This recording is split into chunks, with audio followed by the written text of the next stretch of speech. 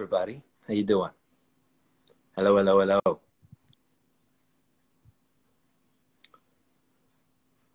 How y'all doing today?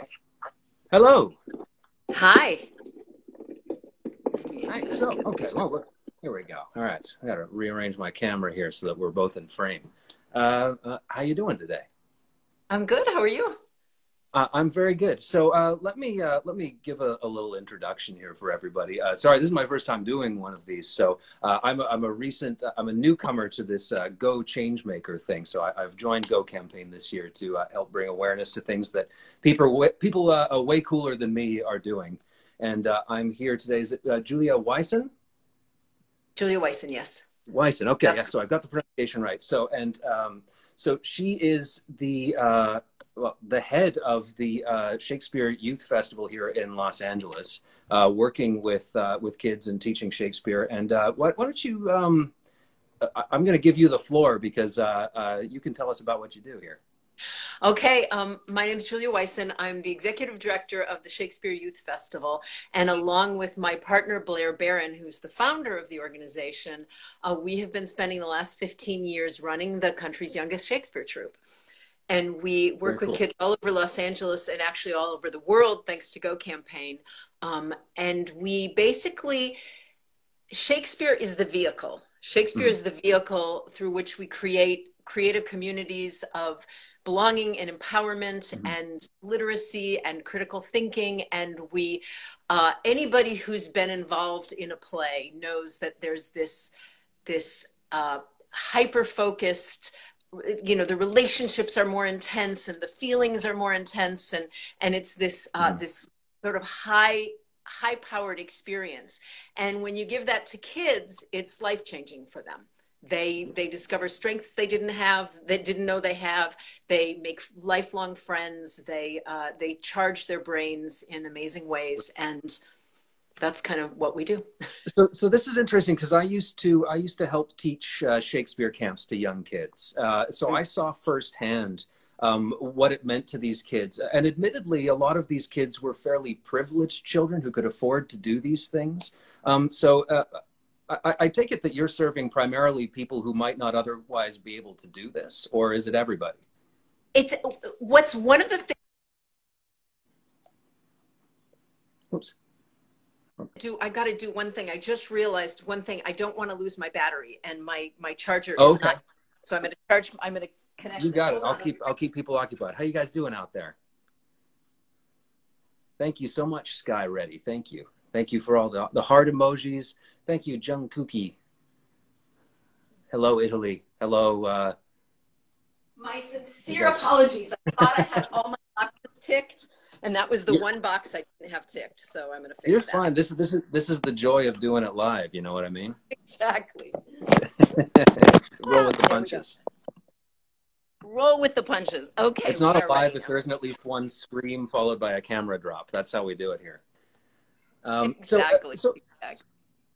so I guess just for people who aren't familiar, Go Campaign, their thing is to find people who are already making a difference and then to give them um, a, a additional funding and support to try and uh, expand on the program that already exists. Is, is it fair to say? So, um, has uh, so uh, what has Go Campaign done for you specifically? Well, that you know, I was actually thinking about that a lot, kind of preparing for this. And um, they've done, they've really done like three things for us that have been pretty organization changing. The first thing, obviously, there's the funding there's the funding mm-hmm. um, aspect you know the fact that if you have any experience in the nonprofit world, you spend most of your life trying to convince people that what you're doing is worthwhile and that they should give you money to do it. Right. And with Go Camp, that first part is taken care of because they already have recognized the value. So what ends up happening is I um, I will get together with Michelle or Amy or one of the Go Campaign people, and we'll talk about you know we'll just talk about what's going on, and then um, for instance, uh, Michelle, we were having this lovely coffee, and I was telling her about this person that I'd met who um, who was working with a company called Upward Bound House, and it helps families who are transitioning out of homelessness. Okay. And we were, I was kind of just telling Michelle about some of the conversation we'd had. Michelle was like, "Well, what would you need from us?" and what is it that you want to do? And I said, we want to do a spring break program. So these kids, you know, when a home, if a family is struggling with homelessness, um, and it's spring break, what do the kids do for a week? The kids are, are you know, they, there's no resources. So we wanted to come in and do a program. And Michelle said, that sounds great. Uh, here, fill out these forms. And the next thing I knew, it was, uh, it was funded by Go Campaign. Wow. Okay. So, and we spent a week working with these kids um, in two locations um, and had just an extraordinary experience doing it. And it was so, they simplified it. They, they take out so much of the, the middle area that you have to deal with. So, so it's the, it's the funding, obviously. I mean, anybody right yeah obviously money money money but yeah. but then the other thing that go campaign does is they uh, they do a, these capacity building workshops my expertise is working with kids and shakespeare right. it's not running a nonprofit and i'm doing it right. by default you know because yeah. i'm and my partner and i are are kind of you know for the last 15 years we've been learning on the job and one of the amazing things that Go Campaign has given us is education. They mm-hmm. they bring in experts and they have capacity building workshops that help us run our organization more effectively.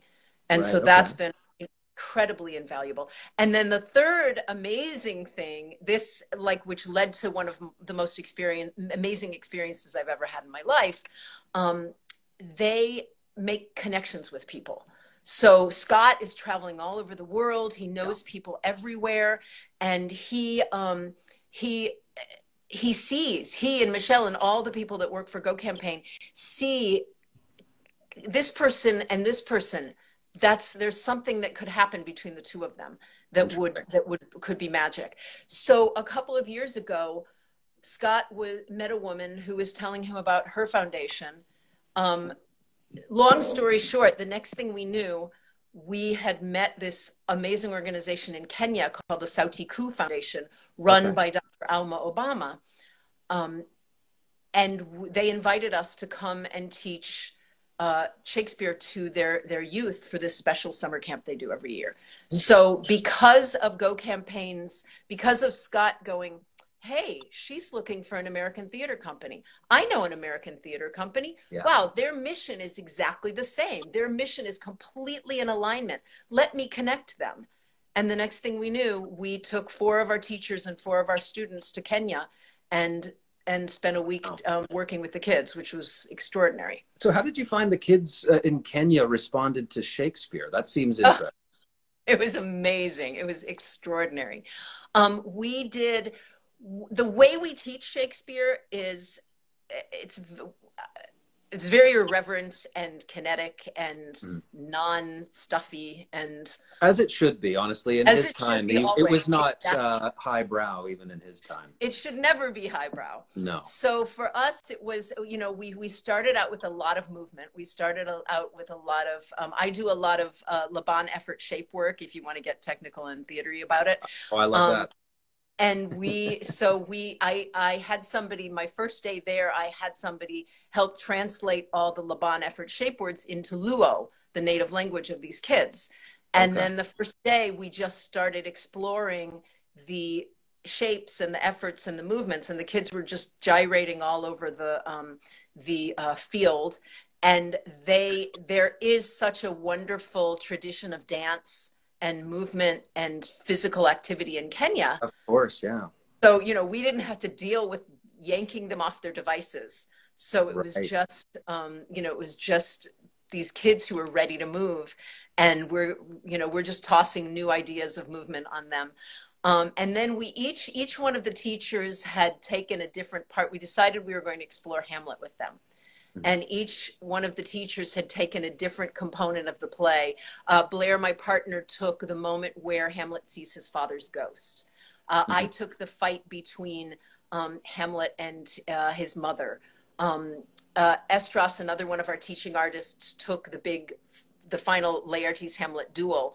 Um, Bailey, another of our teacher artists, took To Be or Not to Be, and the kids he was working with the older kids and the kids took the speech to be or not to be and they they talked about it and they related it to their own lives and then they created this sort of rhythmic experience of uh, you know it started out with be to be or not to be that is the question to be or not to be that is the question and they were chanting it and then mm. by the end by the time they'd sort of transitioned through all the all the ways that they related to it. The final was to be or not to be we know the answer. To be or not to be we know the answer. And you know so they took the language and they just completely made it their own. And um, that kind of happened with all of the different we basically created applied theater um, pieces for each of right so they, they remixed it if you will. Exactly exactly. Right. sampled so shakespeare. are, you mentioned some of the older kids. So um, what are the age ranges that you work with then um, in our in our stateside program, we uh, generally, and this was what it was in Kenya too, but uh, generally seven is our youngest age, and up through 18, 17, 18. Right. And I remember when I was working with the little ones, I was startled sometimes. You come across seven year olds sometimes who have a better command of the text than, than I do. And uh, it, it, it's startling hearing those words come out of a, a, kid's mouth, and he seems to know exactly what he's saying, or, or oh, yeah. she seems to know exactly what she's saying. And um, I remember being baffled by that because you think of Shakespeare as being like quite um, academic, but the kids just don't see it that way, do they? No, they don't. Not at all. Um, I, I had one little, uh, one very um, precocious little girl, but they all are. Um, she was playing Touchstone, mm-hmm. and she decided that she could not do uh, the the speech about the lie seven times removed. She couldn't do the speech about the lie seven times removed until she had figured out real life instances of each one of the lies. Oh, so okay. we had this great mm-hmm. conversation about, you know, what is the lie circumstantial? What is the lie? You know, and she had all these ideas and had figured it out. And she was, con- she felt that Shakespeare had mixed two of them up because she thought he was going in order of how bad they were. And she thought, I don't remember exactly what it was, but one of the lies was much worse than the other one. And that should have been higher up on the list than right. she had so. Yeah, Shakespeare got this wrong. Let me tell you how it's yeah. done. Exactly. Yeah. oh, they're all they're all they're all very willing to figure out when Shakespeare gets something wrong. So. Well, that's fair. You know, uh, everyone's a critic. Exactly. Um, so let me ask you, uh, how has COVID affected the work that you've been doing? Well, we the, the, the beginning we're just kind of going through all the uh, the reliving of everything as we come on the year anniversary mm-hmm. one year ago we were smack in the middle. We had just launched our annual festival, and we always do a festival every year. Mm-hmm. Three or four plays uh, in fest in repertory. The kids are are um, you, usually it's about sixty to seventy kids, and they've all been rehearsing for for four to six months. Yeah. And we've got these full productions uh, that they're that they're ready to do, and it's the high point of a lot of these kids' years. So last year we had just opened the festival. The first two shows had had their opening weekend. And we were hearing about this virus that was coming. Yeah. But I, for one, was was poo-pooing it. I was like, this is ridiculous. Uh, me too, honestly. Like, uh, it's SARS all over again. Yeah, you exactly. Know, it's, it's fizzle out. Yeah. And we had a few parents calling, going, "What are you thinking about the virus?" And I was thinking, what do you mean? Like, we're not going to cancel the festival. These kids have been working for months. And then one night, we were rehearsing for the next two plays. We had opened Twelfth Night and um, and uh, Comedy of Errors, and we were rehearsing Measure for Measure and Troilus and Cressida, and all of a sudden it hit, and parents were saying, "I don't think." You know, one one kid, uh, his uh, he lives with his grandparents, and his mom's like, I'm not comfortable with him being in public. I don't know if I'm comfortable being with him in, uh, in a theater this weekend. So in 24 hours, we had to make the agonizing decision to shut down and tell yeah. these kids that wow. this play that they'd been working on for five months was not going to be produced. Wow. That we were done. And it was pretty, it was heart wrenching. It was awful. Yeah. And so we sort of took a deep breath and we realized these kids really were feeling unmoored and upset and distressed and unfocused and they were freaking out and they were trying to figure out how to do school online. And um, and we started doing these drop-in classes because nobody really had the mindset where they could we didn't know whether we were going to open back up in two two weeks or two months or what. Yeah, yeah you just didn't know. Dream that it was going to be a year. So we started doing these drop-in classes. There where kids didn't have to plan ahead. They could just decide that afternoon you know what i need to do some improv this afternoon i'm going to show up yeah. And we we did some playwriting classes, we did some improv classes, we did some character exploration classes, just come with your favorite Shakespeare character and let's explore it for a little bit. And we did that for the first m- couple months while we were all sort of getting our bearing. And then when it became clear that this was going to go on for a little while, we just said, okay, we've got to carry on. And um, we did our f- full summer session. We did four weeks of four four recitals every Friday.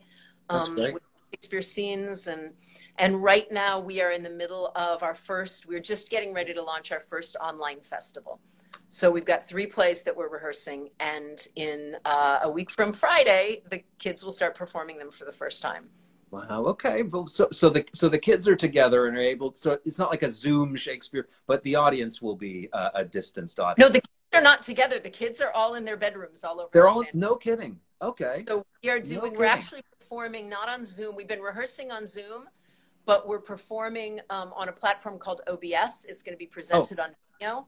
Yeah. And we are we are just doing our best to make it as creative and fun as possible. We did have one in-person rehearsal where we uh, we went outside. We we went to a park. The kids all met us in a park. We were masked. Okay. And we did some videos of them frolic. We're doing one of the plays is Midsummer, so we did a lot of uh, videos of fairies frolicking in the forest, and um, but yeah, it's it's in Zoom. It's it's all online, so the kids have. Not... Well done. I mean, people just adjust, don't they? It's uh, they, they adjust exactly. I, I, I just want to circle back on something I just noticed a quick remark. I, uh, you mentioned Measure for Measure and Troilus and Cressida, and that's fascinating to me because uh, so often I guess we focus on Midsummer Night's Dream as you like it, uh, kind of like the hits, you know, and that's what we give to kids. But you're saying that these kids are handling these these problematic kind of uh, uh, or not problematic problem plays we call them, or things that, yeah. that, where they're, um, um, they're imperfect scripts, let's say. Yeah um, or yes. lesser lesser loved ones. But uh, I, yeah. I, have a special place in my heart for uh, Troilus and Cressida, so that's fine. Yeah. Yeah. Well, last year we did Cymbeline. So. Oh wow! Okay, so yeah, there's. We've done King John. We've done we've done mm-hmm. all the we've pretty much this was going to be our first pass at measure, and I'm disappointed that it didn't get to um, come to fruition because yes. it was uh, it was fun to work on, and it was you know it's there the messy ones, I mean, you know, if you were a teen in 2021, it's messy. It's a very messy time to be a teenager. Yeah. And I think that it's a very messy time to be a human being. And I think that the kids really appreciate being able to deal with, um, uh, you know, questionable, questionable morality and people who yeah. are not good or bad and where you can't decide for sure. And they really appreciate that and they thrive on it. And they it it i think it helps them to see that this person was writing about these naughty moral dilemmas for hundreds of years ago and we're still dealing with it. And mm. you know it kind of makes us feel like maybe it's not as bad. Maybe maybe we're not doomed because it's people have been dealing with these things forever. So you know i think yeah. it's comforting I, I think about that sometimes. Every time uh, somebody goes, or I catch myself going, "What does the world come to?" I'm like, I think it has always been thus. You know, uh, we're a, we're a messy species. Exactly. Um, so uh, let me see. Is there any sort of uh, do you have, and it's okay if not, but any sort of specific? Uh, does anybody come to mind, like a story of perhaps a kid that came in and, and in a certain kind of way, and then they got something out of this program, and, and you were able to witness the uh, the transformation, if you will. Or do, I'm sure that happens all the time, but is there any one that stands out right. to you? Well, there were there were two girls who, when they first came, were so shy and and just unwilling to take a stand you know the kind of kids where you said if would you like an oatmeal cookie or a chocolate chip cookie, and they would go, I don't know, you know, just give yeah, me. This, We're so yeah. quiet. and they they didn't you know the first couple times through you know in our back of our minds we're like these aren't kids that these kids don't seem to be theater kids they don't seem to which is part right. of it we don't audition we open our doors to any child because right. so many kids they haven't figured it out yet they haven't you know they haven't figured out whether or not they are theater kids. So these girls were so shy and they kept coming back and they kept coming back thinking okay they're they're coming back. They're obviously getting something out of it. We kept working with them and working with them and they became ju- both of them both of these two sisters became such powerful performers and human mm. beings like they came to see they were they were younger and they came to see the oldest kids who were doing production of hamlet and they cornered me in the lobby and they said miss julia we know what play we want to do next year. We want to do Julius Caesar. And I said, wow, okay, cool. Well, we'll think about it. Yeah. And I talked to Blair and we said, yeah, let's do Julius Caesar. That sounds great. And so then ended up playing Mark Antony, this girl who was so timid that she could barely ask for a chocolate chip cookie versus an oatmeal cookie, played Mark Antony. And she's quieter. Wow. She, of the two sisters, she's quieter, but played it with such force and honesty and straightforwardness. It was beautiful. And then her sister, who also was started out just as timid, played the queen in Cymbeline last year and okay. just full on diva, prancing about in these fabulous gowns, you know, toss it, just just stunning performance.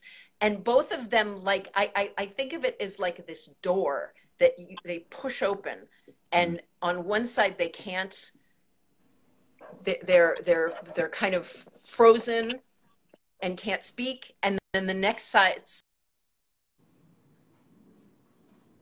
oh, oh no. Maintain the connection. Ironic though you, I think you froze right as you said the word frozen. So I think there's uh, there's some kind of uh, energy in the the atmosphere here. Can you hear me? Uh-oh. Can you? I can't. Uh, I can't hear you anymore. I'm not sure if the people at home can hear you. Can you hear me?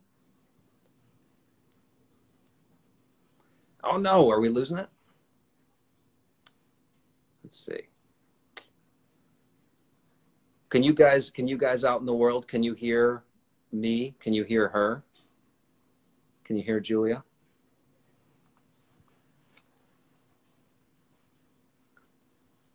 Can you can you guys hear me? Okay. All right. We're coming back into focus. Maybe. We still can't hear you. We can't. Uh, we can see you.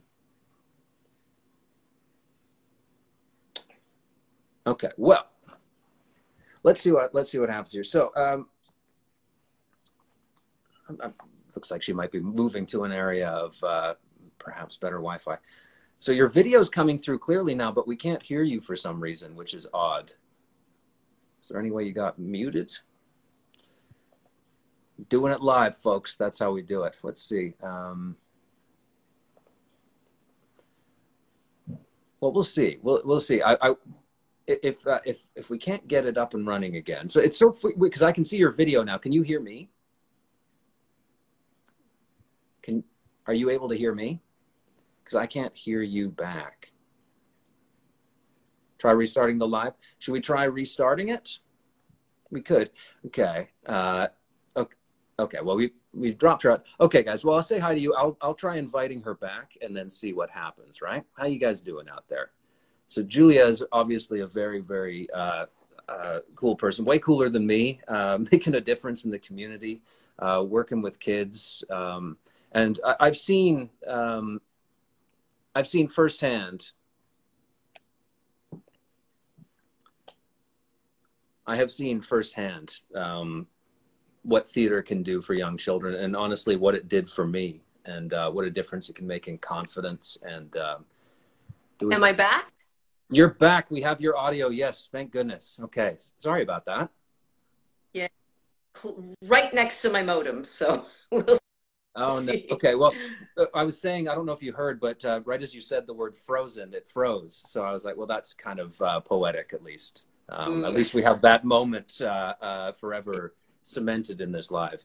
Um, so um, I guess let's move on to um, uh, how can people how can people help right now? Um, and is there anything people can do? For example, I know a lot of us are still at home and uh, and, and mm. can't physically be present. So maybe tell us like when this festival happens again and how people can watch uh, and and what people can do to help. If they go to ShakespeareYouthFestival.com, uh, they will see the first thing they'll see is uh, some pictures from past performances and a link to all the information about the festival. It will be uh, not this Friday. It opens not this Friday, but the following Friday. Okay. And then the, the next three weekends, it'll be three performances of each play a Friday night, Saturday afternoon, Sunday afternoon, Pacific time. Um, the, the, watching the performances free of charge but we invite everybody who watches and enjoys to at least donate the price of, of a theater ticket. You know, right. if, if anybody, everybody who donates watches, we want to make it available to anybody. We want you to be able to sit your whole family around. We want you to be able to sit it on your counter while you're doing the dishes, whatever it happens to be. Yeah. Um, whatever way you can join us and watch the work that the kids have been doing for the last couple months is great. Um, so that's happening the next three weeks. Uh, we are also going to be doing a hybrid summer. We're going to do two weeks in the park where kids can join us in the park and see each other and connect in cool. real life. And this is and in Los Angeles? This is in Los Angeles, yes. yeah. And um, so uh, anything that the uh, if you go to our website you'll see the donate button up on the right mm-hmm. um, so if you can't whether you can or can't join us for the actual festival um, we uh, any money that that we take in goes obviously it's a nonprofit it goes right to the organization yeah. um, a couple of things that we have in the works for next year um, we're going to be working with a school in east la uh, giving a theater curriculum to all their third graders and hopefully if uh, if they can fund it if we can fund it um, it'll expand to fourth and fifth graders giving the kids the social emotional and literacy practice a lot of these kids come from families where english isn't spoken at home right. so english they are learning english and so the opportunity to do to, to participate in a theater produ- uh, program just is so helpful in terms of sharpening their brains connecting to this second language. Um, we're also working on putting together uh, we're working with the la public library to do um, programs in the libraries. They're right in the community. Kids can walk to the library. It's a trusted place. And so we're looking to expand our reach through these uh, through a collaboration with the library. So any donation that you are able to make goes directly toward those kinds of programs and helps us continue to present and expand on that kind of work. And, and if there's kids who are interested in getting involved in the program, can they mm-hmm. enroll via the website? Yes. If they go to the website, we don't have our summer program up yet, but it should be up in the next week. We're still, you know, everything changes every day, so we're fine tuning. But um, if anybody's interested, uh, one of the things I, I think we started talking about this earlier, but one of the things that is a hallmark for our program is that we have kids from all over Los Angeles with from every you know Hollywood showrunners to kids who have, have families are struggling with with unhoused uh, homelessness. Um, and these kids are working together in a way that doesn't they don't know that they don't know that and they don't right, care. that's not all in the conversation. Yeah the conversation is oh my gosh i'm playing your father and this is what you just did and we get to have this awesome conversation on stage every night. So um, any child in los angeles who is interested we don't audition we you know so so we invite any child to join. Summer is a great time to get involved because you can spend okay. a week see what you feel about it see how you like it and um, you know summer is a great get involved. Great. Okay. Well, um, I guess uh, I, I, just uh, to sort of, um, I guess, sort of close us off here. Is there anything else that you want to say about the program, about yourself, about uh, uh anything at all? Well, I do want to give out a, another uh, another shout out to Go Campaign because they really have been um, they really have been instrumental in some programs that we have uh, done and I I just love of their hands-on approach and their I love the idea. I'm so proud to be a local and I love that idea so much that that they they they have a trust for their local trust that their local heroes know what to do and they make it possible for us to do that. So having that trust from so great and so empowering and so helpful and so I just I want to give I don't want to end without giving them another shout out because we are so grateful to their partnership. I will. I, I will echo what you said. I, I, am and come see the festival. Campaign. It's really fun. It- oh yeah, come. Oops, we had a bit of a lag there. Uh, sorry, carry on. Hopefully. Go ahead. I'm. We're we're lagged now. So you were campaign and yeah, so I, I, was just saying that I, I, am I, yes, oh, the joy of internet. I can't in the same room again. Yes, exactly. So I, am new to Go Campaign, but um, uh, uh, uh, I've met Scott, and um, he's a fascinating person. And um, the the concept really appeals to me of finding people who are already making a difference, who like who already have the knowledge. Because I think sometimes we worry that when we give money to charity, they don't spend it properly. They don't know how to allocate it or how best to make use of it. Like their intentions are good, but they don't know what to do with it. So this is finding the people who've already figured out what to do with it. They just don't have enough of it. And uh, that exactly. concept really appeals to me. And, and it's not just in Los Angeles; it's it's a worldwide charity. But um, worldwide. But um, yeah, so uh, it's a really really cool. Um, they're they're cool people to work with, and so far I'm extremely excited. And uh, great. Thank so, uh, you for coming on board. Uh, uh, maybe plug the festival one more time for everybody, and, uh, and we should definitely all check it out. ShakespeareFestival.com, and we will uh, be going live next Friday and uh, three three performances of Midsummer Night's Dream, three performances of Richard III, three performances of an original script written by my partner Blair, who um, that we call it our Shakespeare adjacent scripts that imagines what happens if if, if 11 of or 9 of Shakespeare's characters cut from plays were trapped together in a green room. So oh, that, I really encourage everybody to come and watch. So, so original work. That's awesome. Yeah. So that's Shakespeare, Shakespeare Youth Festival. Yes, Shakespeare Youth Festival dot, dot com. All right. Yes. Well, um, cool. Julia, uh, uh, thank you so so much, and um, uh, it's been a pleasure talking to you, and, and I, I, hope to to talk to you again uh, off the live and uh, uh, more about what you're doing. Absolutely, anytime. Thank you so much. It was great to meet you. Great to meet you too. All righty, and everybody at home, thank you so much for your generosity and for tuning in, and um, it, has been an absolute pleasure, and. I appreciate all the comments. Sorry, I didn't have time to read them all. uh, well, stay safe, uh, stay sane, and uh, thank you so much for everything that you're doing. Thank you. All righty. All the best.